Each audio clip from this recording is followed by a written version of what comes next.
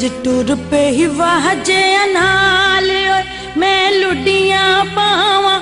ਆ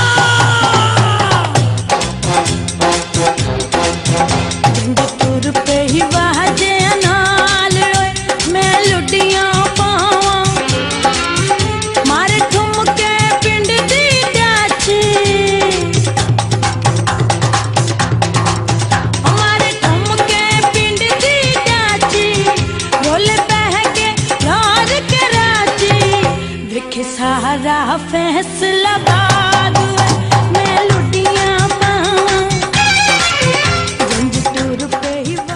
ਜੰਜ ਵਿੱਚ load shedding ਤੋਂ ਉਕਤਾਏ ਲੋਕ ਖੁਸ਼ੀਆਂ ਦੇ ਬਹਾਨੇ ਤਲਾਸ਼ ਕਰਨ ਲੱਗੇ। ਤੁੱਲੇ ਦੇ ਇਲਾਕੇ ਵਿੱਚ ਸ਼ਹਿਰੀਆਂ ਨੇ ਖੋਤੇ ਤੇ ਖੋਤੀ ਦੀ ਬਕਾਇਦਾ ਸ਼ਾਦੀ ਰਚਾ ਲਈ। ਬੈਂਡ ਵਾਜਿਆਂ ਨਾਲ ਖੋਤੇ ਦੀ ਬਰਾਤ ਬੜੀ ਧੂਮ-ਧਾਮ ਨਾਲ ਇਲਾਕੇ ਵਿੱਚ ਪਹੁੰਚੀ ਤੇ ਫੁੱਲਾਂ ਦੀਆਂ ਪੱਤੀਆਂ ਨਿਛਾਵਰ ਕਰਕੇ ਬਰਾਤ ਦਾ ਭਰਪੂਰ ਇਸਤਕਬਾਲ ਕੀਤਾ ਗਿਆ। ਤੁੱਲੇ ਦੇ ਰਿਹਾਇਸ਼ੀ ਜਵੇਦ ਨੇ ਆਪਣੇ 3.5 ਸਾਲਾ ਕਲਿੰਟਨ ਨਾਮੀ ਖੋਤੇ ਦਾ ਰਿਸ਼ਤਾ, ਆਪਣੇ ਹੀ ਮਹੱਲੇਦਾਰ ਗੁਲਾਮ ਰਸੂਲ ਦੀ 3 ਸਾਲਾ ਖੋਤੀ ਮੁਨੀਕਾ ਨਾਲ ਤੈਅ ਕਰ ਦਿੱਤਾ ਸੀ।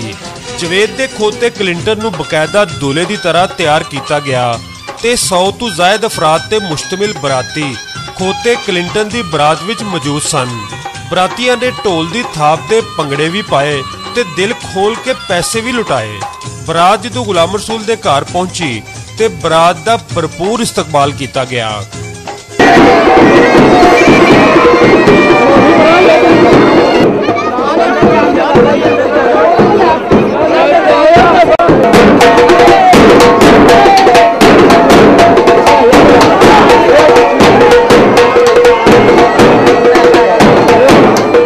ਮਿਲਣੀ ਦੀ ਰਸਮ ਤੋਂ ਬਾਅਦ ਬਰਾਤੀਆਂ ਨੂੰ ਠੰਡੇ ਮਸ਼ਰੂਬਾਤ ਵੀ ਪੇਸ਼ ਕੀਤੇ ਗਏ।